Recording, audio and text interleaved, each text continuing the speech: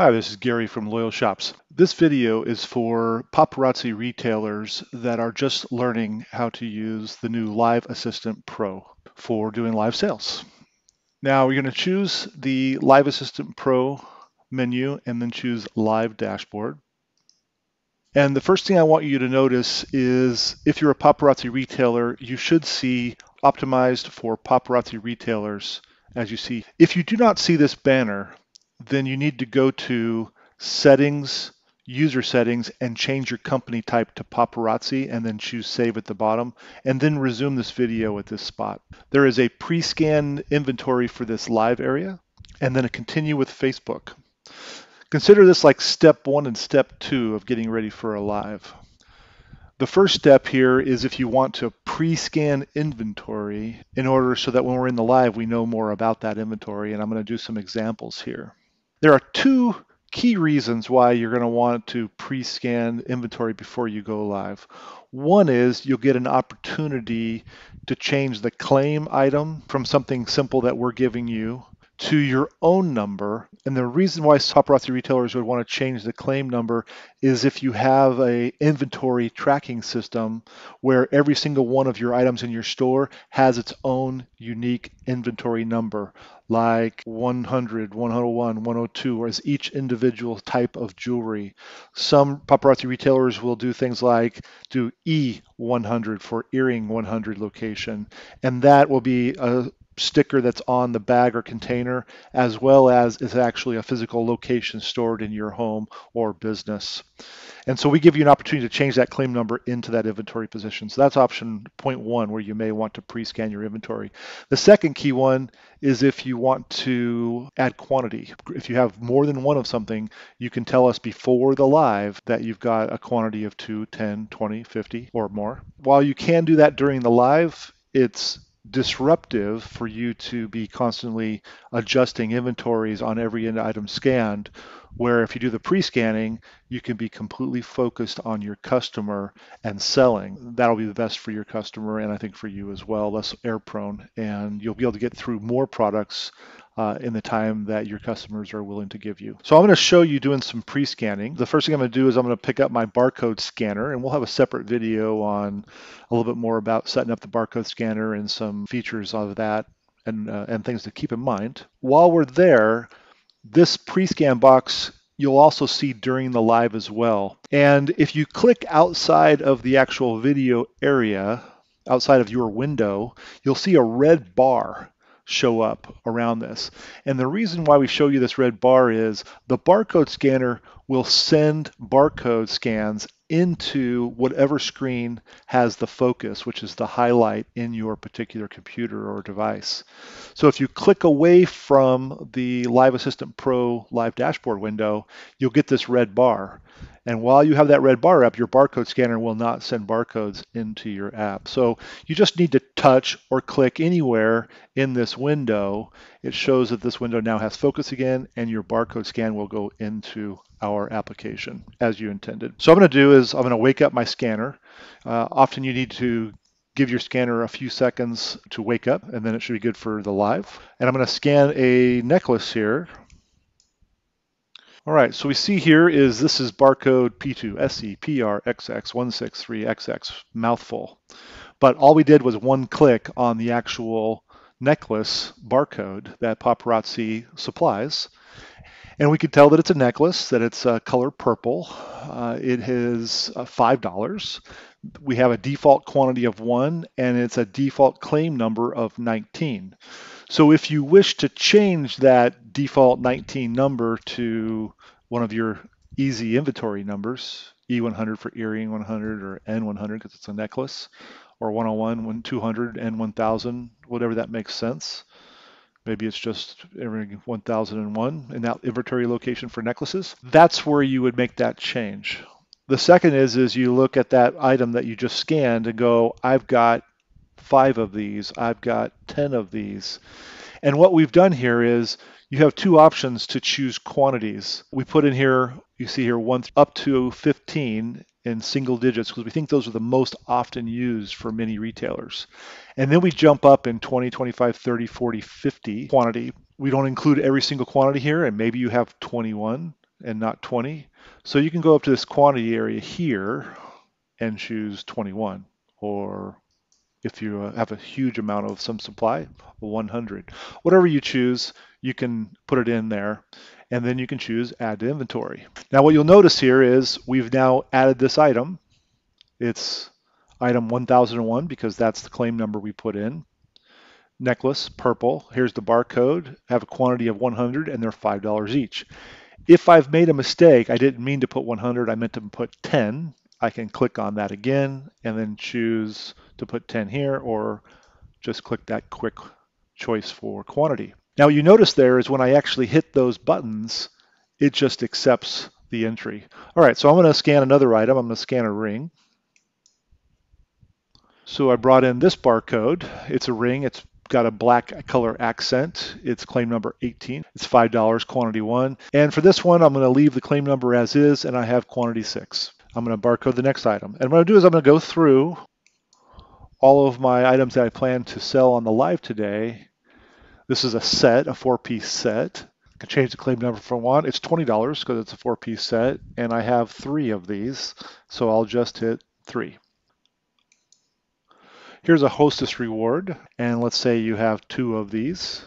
And like I said, you could also have just hit this two right here, or you can just choose that custom number and then hit add inventory. Let's go a little bit further. Uh, Z collection. So here's a Z collection necklace and earrings. It's the enticing silver is the one I barcoded. Claim number 11 by default. Change it if you wish. $25 and I've got six of these. Here's a Life of the Party exclusive 5-piece set for $25. And I've got four of these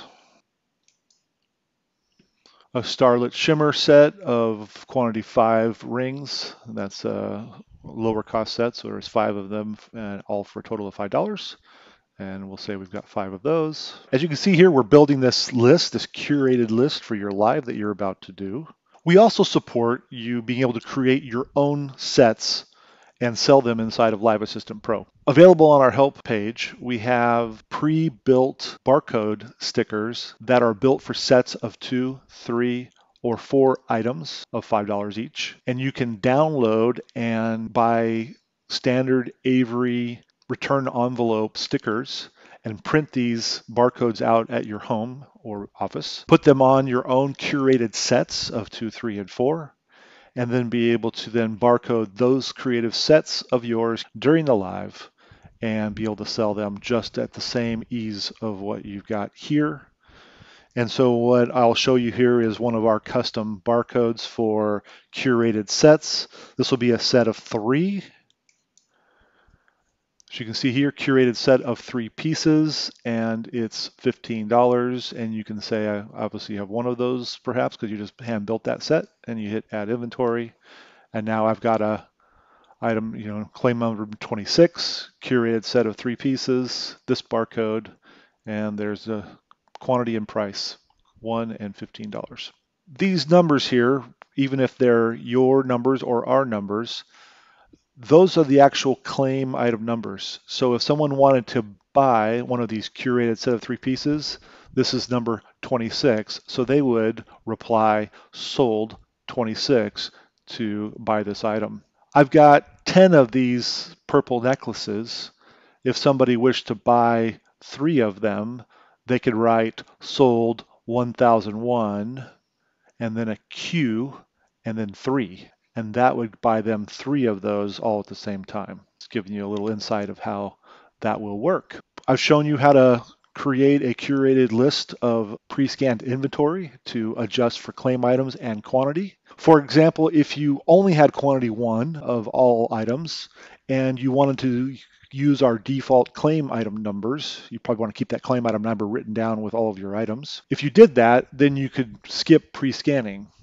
It's only for items that you have quantity more than one, and if you wish to change the claim item numbers that you need to pre-scan inventory. Otherwise, if somebody brings up some item and you go and grab it and you scan it during the live, you still have the opportunity to increase that volume while you scanned it and even change the claim number if need be. That's all possible. Pre-scanning is a lot smoother for the bulk of your inventory. Uh, to keep you having a really good, straight, fast life. Done with that, I'm going to now choose to continue to Facebook. And I'm doing this just like you as the first time doing this. All right. Once you've done this one time, it gets to be faster. All right. Continue as your name. And you're going to choose if you've got one business page, maybe you have 20 business pages that you're an admin for. Uh, you'll just pick the ones that you are an admin for. I've got some test pages, so I will select those. You'll end up picking your business page. And then if you go live on people's platforms or other business pages, you can go back onto this page and add more at any time later. Now it asks me what permissions are allowed, uh, which is basically for us to get your email and be able to help manage your page as far as reading comments from the live and posting comments on your behalf in the live. You want to leave all of these checked, so you just hit done. All right, and now we're linked. Our inventory is loaded that we just created. Uh, we have a texting system, so if you set up your text to be able to actually uh, send out a text to your customers with the description and the link to your live, it will show you here. Otherwise, this won't be here. By default, you want us to be able to respond in the live with comments. You leave this comment response in live almost always. And then here is where you pick what page, and that page is going to show up the ones that you've chosen. I'll pick test page five.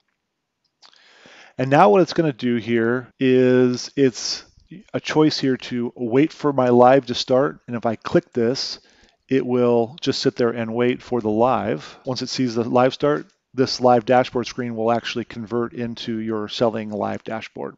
Or you can start your live first, and once the live starts on this page you've chosen, the live will show up here as an option and then you can click on it. All right, so I've started a live and what you're going to see is once the live actually starts inside Facebook, this looking for a new live video will actually show me waiting for that live to start.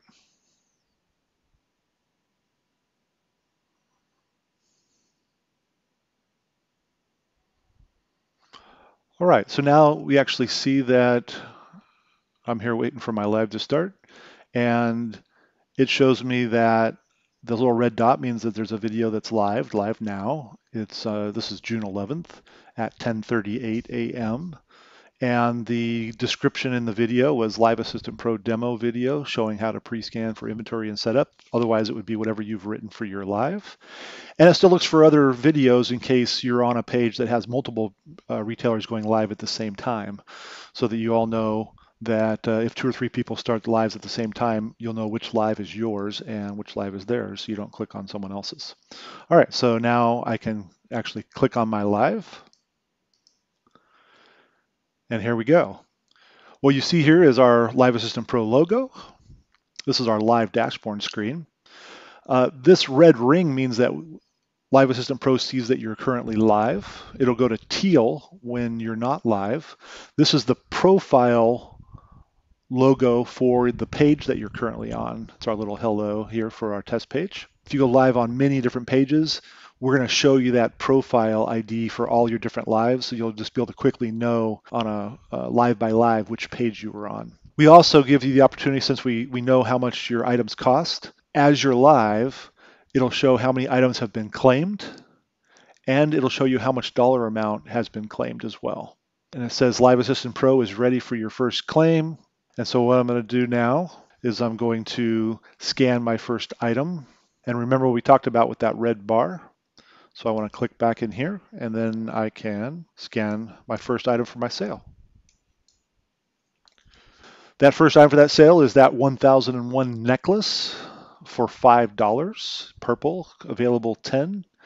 All right, at the bottom, there's this blue bar, and we're going to scroll that up some just to give you some help. This is actually here as a just in case. This is all of the comments that are going on in the live. We record all comments, by the way, with Live Assistant Pro so that even after the live, you can go back and find out exactly who said what and when, who claimed what and when. If you need to double check something with a timestamp, it's all done here.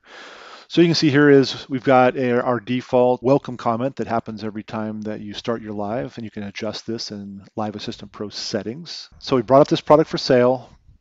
The comment actually showed up in the live for the customer to purchase that item. And I'll just do this off screen so you've seen it one time. I'm to do sold 1001 and I'll do quantity two. And what we're going to see here is that since I was actually buying as the page, it shows up as my test page as the name. This will be your customer's name. And that's 1001 and necklace. And it shows that there's two here.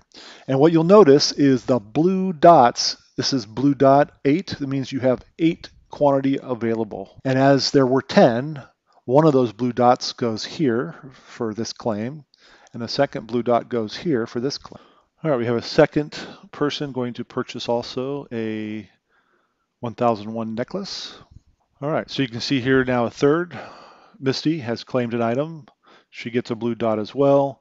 And now we have a quantity of seven.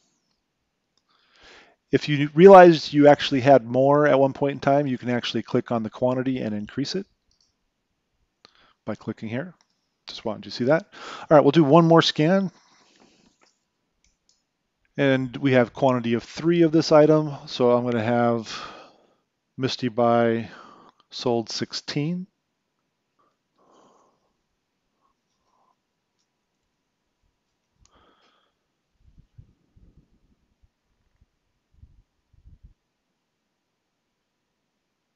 All right, so both Misty and the page bought one each, and there's one left.